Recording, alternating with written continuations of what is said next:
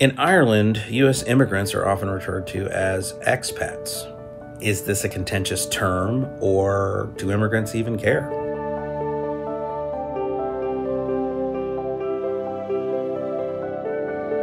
Expat can mean to banish a person from his or her native country, or expatriated, exiled. Is it a bad thing to be called one? Is it bad calling someone alien? Alien means often disparaging and offensive. A resident of one country was born in or owes allegiance to another country and has not acquired citizenship by naturalization in the country of residence. This is distinguished from citizen. Or a person who's been estranged or excluded. I mean, if I think about it, there's nothing great about either of those definitions. I mean, even an extraterrestrial would not want to be labeled that way. And then there's immigrant, which means a person who migrates to another country, usually for permanent residence, or an organism found in a new habitat. Seems pretty harmless, right?